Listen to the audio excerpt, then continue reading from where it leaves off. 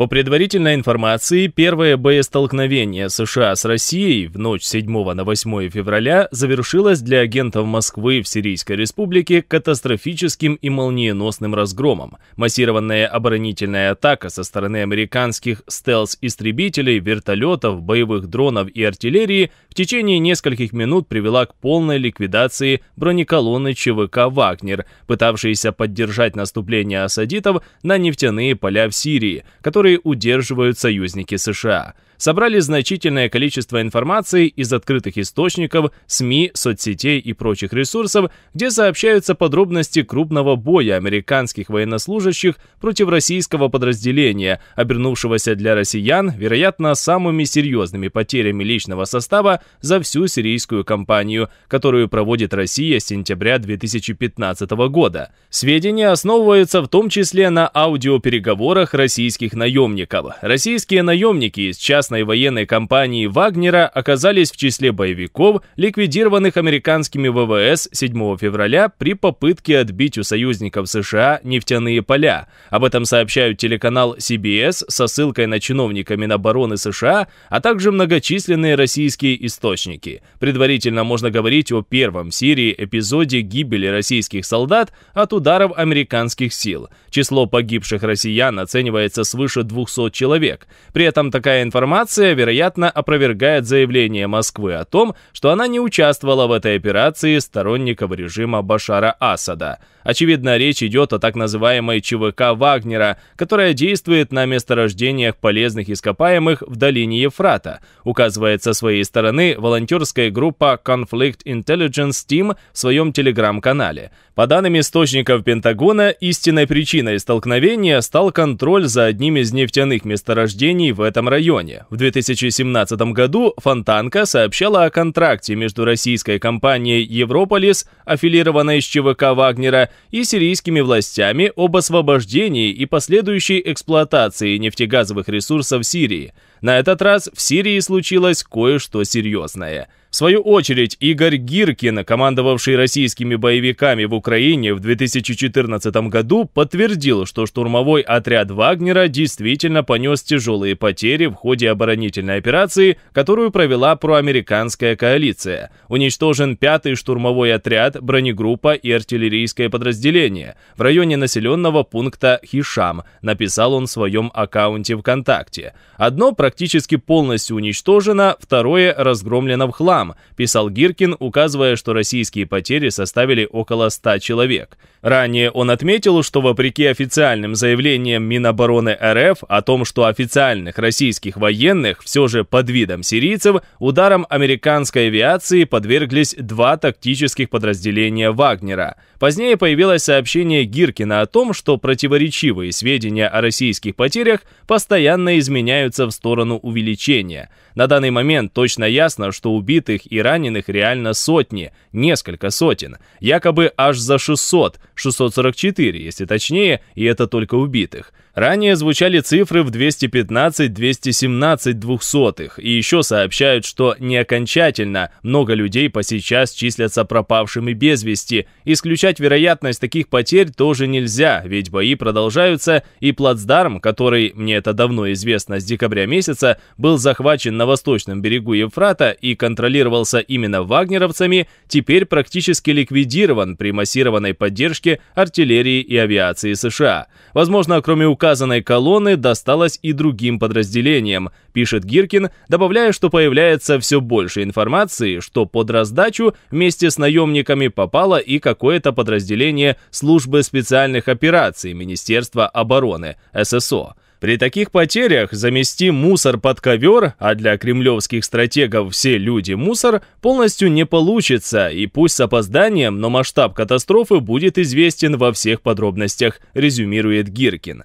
О том, что на этот раз в Сирии случилось кое-что серьезное, говорится и на ресурсе Телеграф. По данным автора Ёж, в ночь с 7 на 8 февраля войска США уничтожили на пятую роту этих самых вагнеровцев, которые двигались с наступлением в сторону позиций сил коалиции. Как следует из заметки, американские войска применили вертолеты, артиллерию, а затем и авиацию для отражения нападения, устроенного российско-сирийским альянсом. Итог – почти вся пятая рота уничтожена, это больше 200 человек. Обстрел начали с вертолетов и артиллерии, потом уже в дело пошла пехота, говорится в материале издания. Отмечается, что в ходе операции американские дроны уничтожили артиллерию ЧВК «Вагнер», которая должна была прикрыть атакующую группу. Говорят, что там даже собирать нечего, потому что все начисто разбомбили. По данным источника «Ежа», после этого инцидента из Сирии были эвакуированы около 150 раненых. Три борта в Москву и два в Питер. В основном все осколочные, просто авиацией, артой прошлись пишет автор, подчеркивая, что прямого боестолкновения с американцами не было. Аудиопереговоры, были пиндосы, сначала артой накрыли. В сети появилась аудиозапись переговоров российских наемников, которые подтверждают большие потери в результате американской атаки. Расшифровку переговоров цитирует в том числе издание «Знак.ком», опуская при этом огромное количество ненормативной лексики, обильно присутствующей в диалоге. Были досы, американцы. Сначала артой, артиллерией накрыли, потом подняли четыре вертушки, вертолеты и в карусель запустили из крупнокалиберных пулеметов. У наших, кроме автоматов, ничего не было. Вообще устроили там ад. Пинцы конкретно и четко знали, что это мы идем, русские. Вот наши шли завод отжимать, а они на этом заводе сидели. Очень много пропавших без вести, говорит голос на первой записи, отмечая, что сразу же погибли 200 человек в первой роте, 10 во второй и еще сколько-то в третьей. «Брат, ну смотри, там 177 убитых, только пятая рота. Двойку практически не зацепило. Короче, пятерку всю уничтожили, их раскатали там авиацией, вертушками, артиллерией, и курды с американцами на них поперли. У пацанов просто не было шансов. Пятерка легла почти вся», сообщается на второй записи. Третья запись свидетельствует, что российско-асадовские артиллерийские силы пытались атаковать американскую бронеколонну, демонстративно поднявшую флаг США, однако американские вертолеты оперативно нейтрализовали угрозу со стороны Вагнера, которые в итоге потеряли 215 убитыми. По его словам, вагнеровцы в колонну выстроились, не доехали до этих позиций метров 300-700. Он указал, что вперед пошел один из взводов, тогда как колонна стояла. Эти американский флаг подняли, и по ним арта начала жестко бить, а потом вертушки подлетели и начали громить всех. Сейчас парняга отзвонил, в общей сложности 215 двухсотых, вроде так, короче раскатали просто жестко, обозначили себя. Наши вообще на что надеялись? Сбегут? Напугаются? Недоумевает он. По данным четвертой записи, из техники, говорит, уцелел один танк и один БРДМ, а все остальные танки были уничтожены в первые минуты боя сразу. Ресурс Wargonza, оказавшийся в числе распространивших эти аудиозаписи, написал о том, что артиллерия не смогла защитить вагнеровцев из-за атаки дронов США. Артиллерия не смогла поддержать уничтоженную колонну вагнеровцев не просто так. Буквально сразу же она была атакована боевыми дронами американцев и выведена из строя. У ребят практически не было шансов. После артобстрела по остаткам колонны прошлись из вертолетов. Средств ПВО даже ручных не было. Немногие выжившие подтверждают, над окопами противника висели американские флаги, сообщили собеседники Wargonza. Бой за нефть. Канал Directorate 4 связывает гибель россиян с ударами 8 февраля, когда авиация стран Запада нанесла удар по частям правительственных войск, атаковавших позиции сирийских демократических сил СДС в районе населенного пункта Хишам. Отмечается, что это произошло в ходе боя за нефтяное месторождение Канека, которое стало целью правительственных войск, поддерживаемых, по всей видимости, российской ЧВК. Несмотря на то, что оно физически контролируется СДС, шейх местного племени пообещал отдать его в пользование правительству Сирии, а скорее всего одному из сирийских бизнесменов лично. Итогом этого договора и стала атака сирийской арабской армии САА, пишет Директорат 4. Все стороны сходятся в том, что в результате удара было убито около 100 человек. Среди них как рядовые солдаты, так и высокопоставленные офицеры и бригадный генерал Юсуф Айша Хайдер. Отмечается, что помимо непосредственно военнослужащих САА, в атаке принимали участие иранские бригады Фатимию и представители российской ЧВК, однако судить о количестве потерь в Директорат 4 не решились. Зачем полезли на американцев?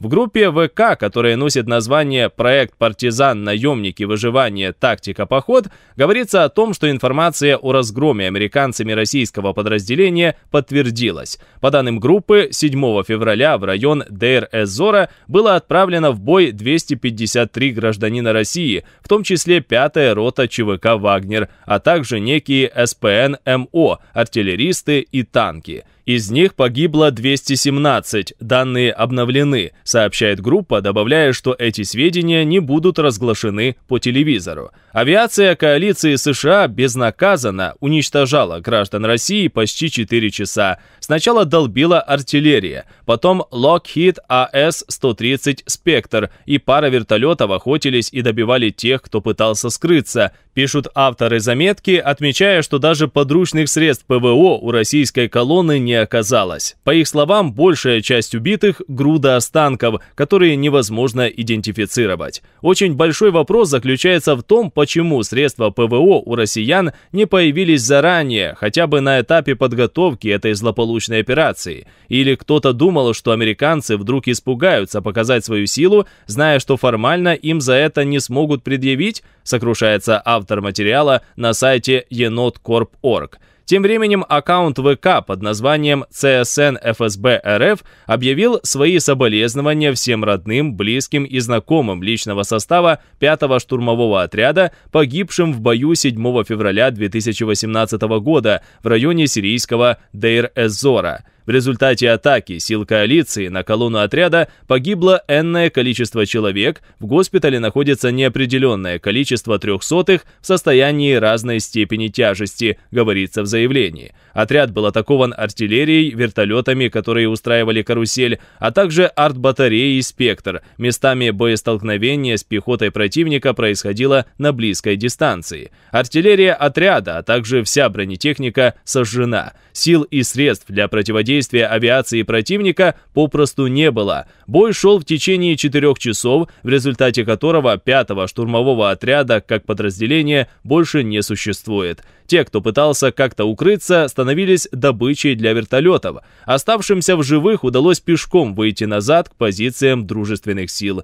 Военный обозреватель Роман Сапоньков прокомментировал ситуацию следующим образом. По ЧВК Вагнера в целом есть подтверждение удара по колонне, но непонятно, какое количество погибших, считайте сами. Все погибнуть не могли. В обычном бою соотношение на одного погибшего три раненых. Если не было стрелкового боя, то есть поле боя не контролировалось противником, то соотношение такое и будет. Если поле боя занял противник, понятно, что раненых он добьет, возьмет в плен. Если верить цифре в 100 погибших, то раненых должно быть в 2-3 раза больше. То есть колонна должна была состоять из минимум 300 бойцов. Надо понимать, что должны были остаться не пострадавшие, кого не зацепило. То есть уже колонна получается в два батальона. Это как минимум машин 10 грузовиков плюс штабные машины, рысь-тигр, пикапы и так далее. Разом накрыть такую машину невозможно, все равно машины из строя вывалятся, народ из машин повыскакивает и рассредоточится.